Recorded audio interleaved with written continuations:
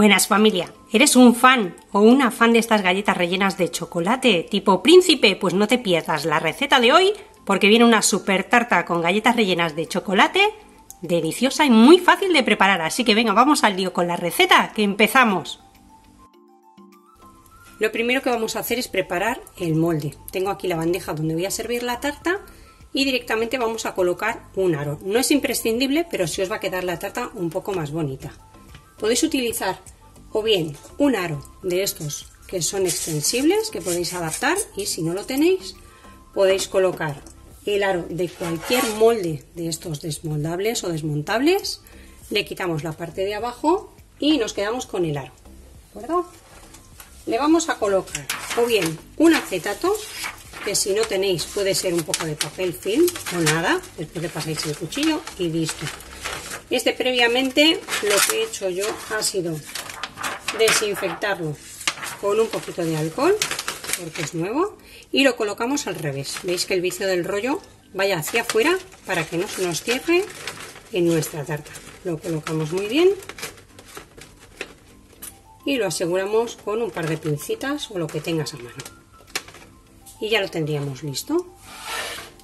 Los ingredientes son muy poquitos y muy fáciles de encontrar. Voy a utilizar galletas rellenas de chocolate de estas tipo príncipe, cualquier marca, la que tengáis en casa, la que utilicéis, azúcar, dos sobres de preparado para flan del que espesa en caliente. Ya os comenté en otro vídeo que si utilizáis la marca Royal, esta que pone tamatina es la que espesa en caliente. Si no podéis utilizar flan el niño, potax, cualquier marca que espese en caliente. ¿De acuerdo? Voy a utilizar dos flanes, dos preparados, que son para un litro de leche y voy a utilizar bebida de soja, un litro.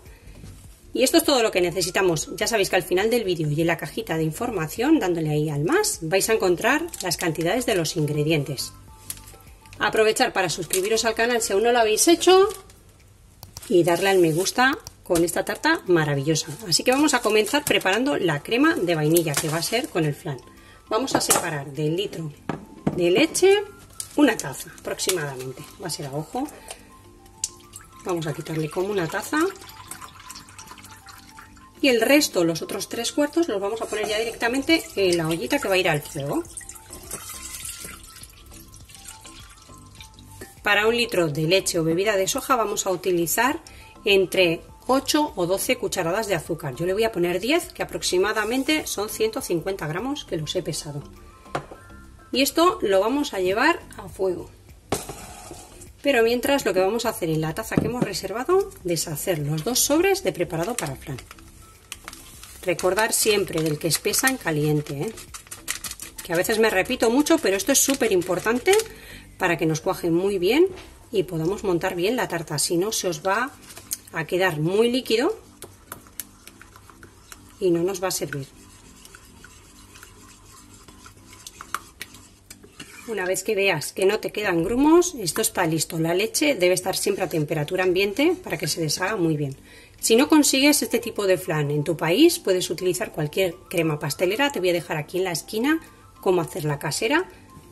Y es calentamos la leche con el azúcar y vamos moviendo para que se deshaga muy bien y no se nos pegue. Cuando ya tengamos la leche con el azúcar que empieza a hervir, que está bien caliente, lo que vamos a hacer es volcar nuestro preparado y aquí con el flan bien para adentro y vamos a mover sin parar para que no se nos pegue hasta que espese. En menos de un minuto ya va a estar listo, así que apagamos el fuego y lo vamos a dejar que temple un poquito.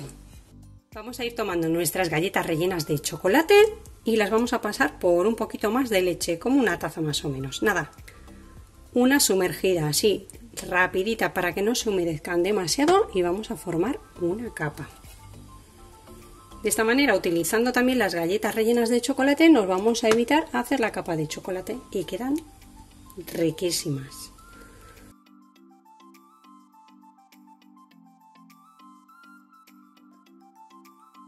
Dejado enfriar la crema aproximadamente unos 10-15 minutos y vamos a volcar más o menos a ojo la mitad de la crema.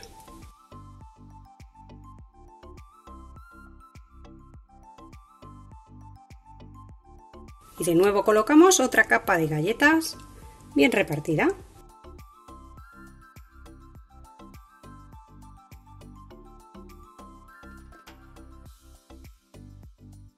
En los huecos lo único que hay que hacer es trocear alguna galleta y poner algún trocito para que quede bien cubierto. Después cubrimos de nuevo con el resto de la crema. Vamos a echarla ya toda y cubrimos muy bien. Si quieres tú puedes cubrirla con otra capa de galletas de chocolate, eso lo dejo a tu elección. Finalmente he gastado dos paquetes de estos de 250 gramos de galletas rellenas, o sea, dos paquetitos, ¿eh? medio kilo. Y como ves me sobra un poquito de la leche y una galletita para acá, que me lo voy a comer ahora mismo. Lo que hacemos es cubrirlo un poco con un film a piel para que no se nos reseque esta capa de flan. Lo llevamos a la nevera. Mejor, si puedes, déjalo de un día para otro. Y si no, un mínimo entre 6 y 8 horas. Pero si lo dejas de un día para otro, incluso dos, está mucho más rica.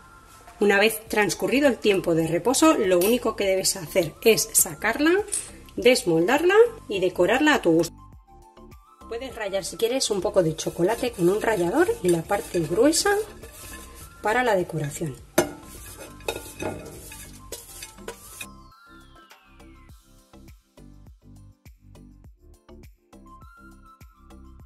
Y ya por último voy a terminar decorando con unas mini príncipe por toda la tarta.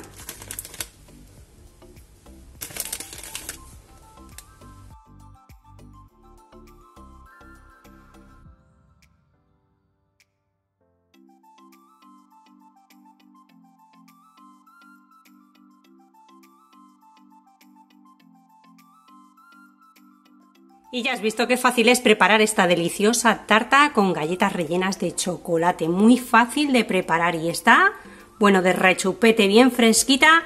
No puede faltar en ningún cumpleaños, así que apúntate la receta. Y nos vemos como siempre en el próximo vídeo con otra receta fácil y deliciosa como esta. ¡Que aproveche!